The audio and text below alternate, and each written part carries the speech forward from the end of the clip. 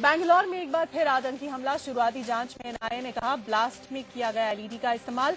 गृह मंत्री शिंदे का बयान, विशेष सचिव के नेतृत्व में होगी धमाके की जाँच। बैंगलोर ब्लास्ट में जुड़ा 17 अप्रैल का कनेक्शन, तीन साल पहले आज ही के दिन चेन्नस्वामी स्टेडियम के सामने हुआ था ब्लास्ट।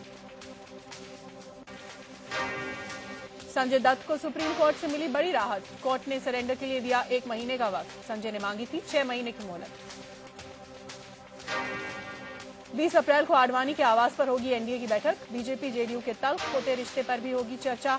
शिवसेना ने बीजेपी से पूछा, क्या मोदी हैं पीएम पद के उम्मीदवार? महिलाओं पर अभद्र टिप्पणी करने पर गई मध्यप्रदेश के आदिम कल्याण मंत्री की कुर्सी। मंत्री विजय शाह ने सीएम शिवराज सिंह को सौंपा इस्तीफा। महाराष्ट्र के औरंगाबाद में रफ्तार का बेलगाम कार ने चार को कुचला। ढाई साल की बच्ची की मौके पर ही मौत।